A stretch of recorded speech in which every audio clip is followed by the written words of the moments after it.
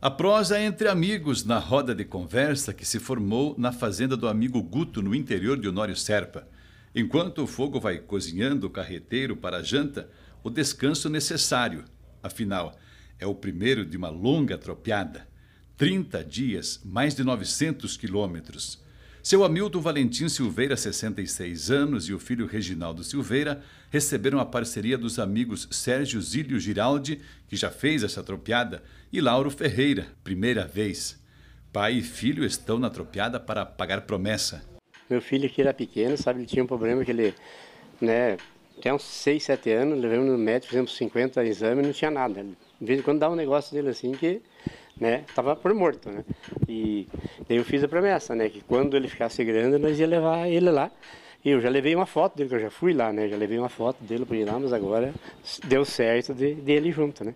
Primeira coisa, a fé na Nossa Senhora Aparecida.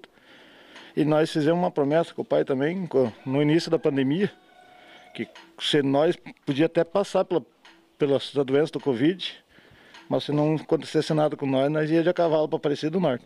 E estamos hoje cumprindo essa promessa. As imagens feitas por eles marcou a despedida da família da comunidade Nossa Senhora do Carmo Cachoeirinha. Depois o grupo pegou a estrada.